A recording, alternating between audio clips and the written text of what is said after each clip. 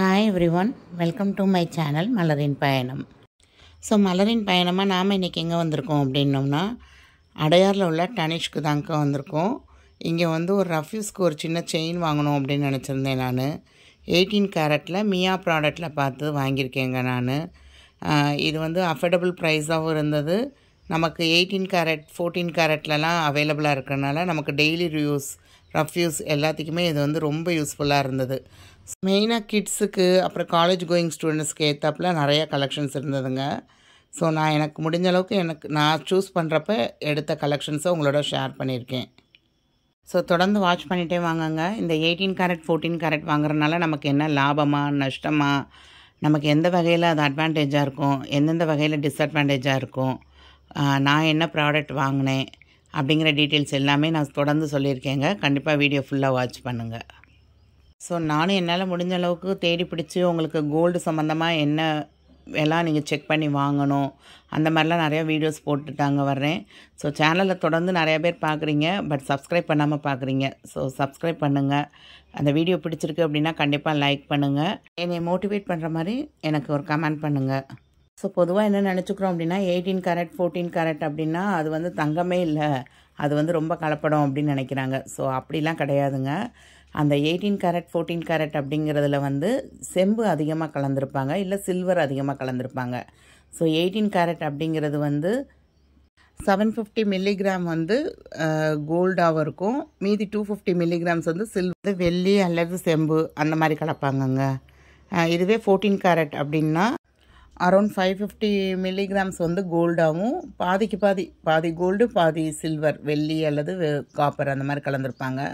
So இது வந்து durability அதாவது அந்து போகாமல் ரொம்ப நாளைக்கு நல்லா இருக்கும். கேரட் கம்மியாக வாங்குறதுனால நம்ம அந்த கம்மியான ரேட்டு தான் அவங்க போட போகிறாங்க ஃபோர்டீன் கேரட்டுக்கு என்ன ரேட்டோ அதான் போட போகிறாங்க ரீவேல்யூஷனும் அதில் ஃபோர்டீன் கேரட் கொடுத்துருப்பாங்க எழுதியிருப்பாங்க. எயிட்டீன் கேரட்னா எயிட்டீன் கேரட் மென்ஷன் பண்ணியிருப்பாங்க.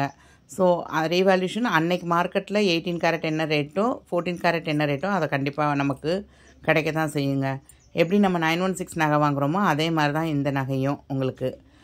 பட் இது வந்து சின்ன குழந்தைங்களுக்கு நம்ம வந்து ஒரு த்ரீ கிராம்ஸ் ஃபோர் கிராம்ஸ்லேயே செயின் பார்க்குறோம் அப்படின்னா நான் மொதல் காமிச்ச வீடியோவில் காமிச்ச மொதல் செயின் எல்லாமே வந்து ரெண்டு கிராம் மூணு கிராம் அந்த மாதிரிலாம் இருந்தது.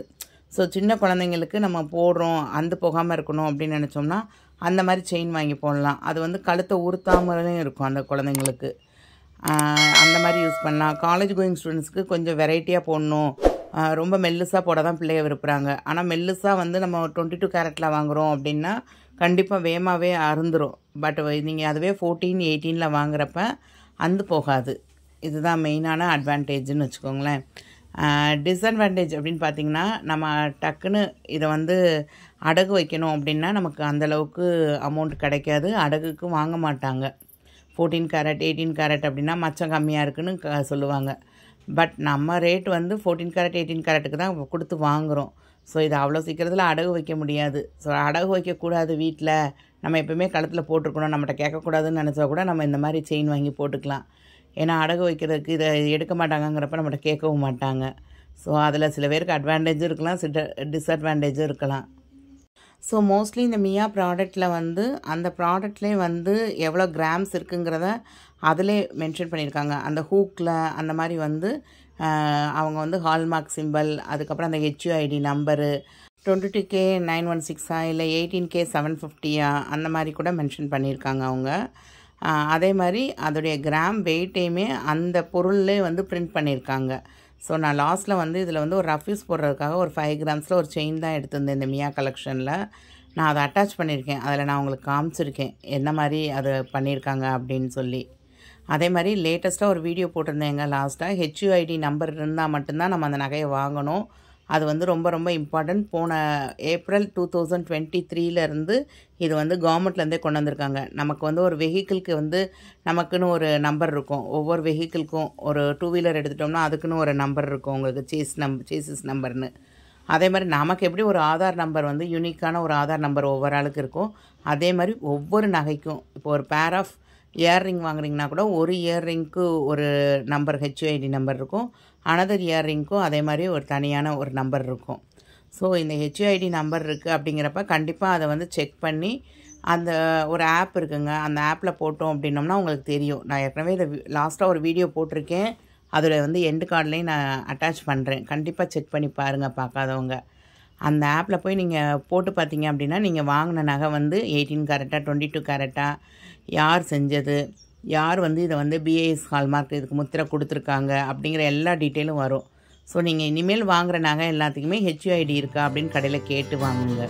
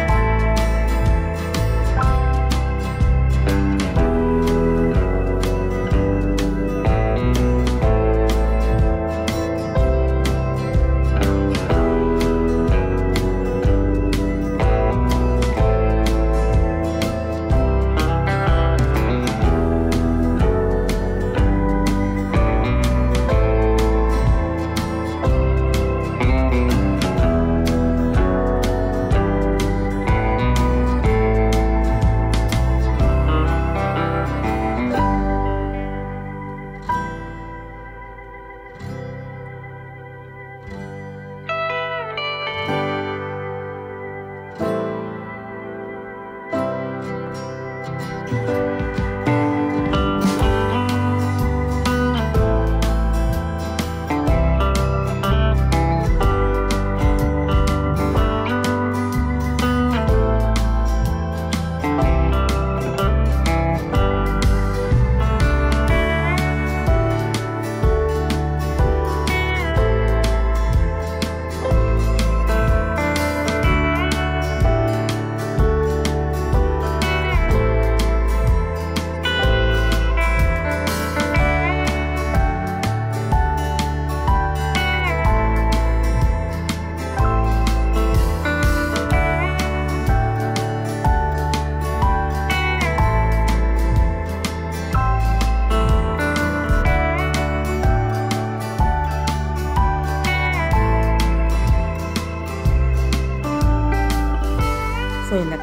எல்லாத்துக்குமே வேஸ்டேஜ் அப்படிங்கிறது வந்து கூட தாங்க அபவ் எயிட்டீனுக்கு மேலே தான் இருக்குது எயிட்டீன் டு டுவெண்ட்டி டூ அந்த ரேஞ்சில் தான் இருக்குது ஸோ உங்களுக்கு இந்த அச்சய திதி எதுக்காவது ஆஃபர் போடுறாங்க அப்படின்னா மேக்கிங் சார்ஜ் வந்து தனிஷ்கை பொறுத்த வரைக்கும் மேக்கிங் சார்ஜ் தான். வேஸ்டேஜ் கிடையாது. ஸோ அந்த மேக்கிங் சார்ஜில் வந்து டிஸ்கவுண்ட் கொடுப்பாங்க. டுவெண்ட்டி பர்சன்டேஜ் டென் பர்சன்டேஜ் அந்த மாதிரி டிஸ்கவுண்ட் கொடுப்பாங்க. அப்படி இல்லை உங்கள் பர்த்டே அந்த மாதிரி ஆனிவர்சரி நீங்கள் ஏதாவது சிட்டு போட்டிருக்கீங்க அப்படின்னா அதுக்கு தனியாக ஒரு டிஸ்கவுண்ட் கொடுப்பாங்க.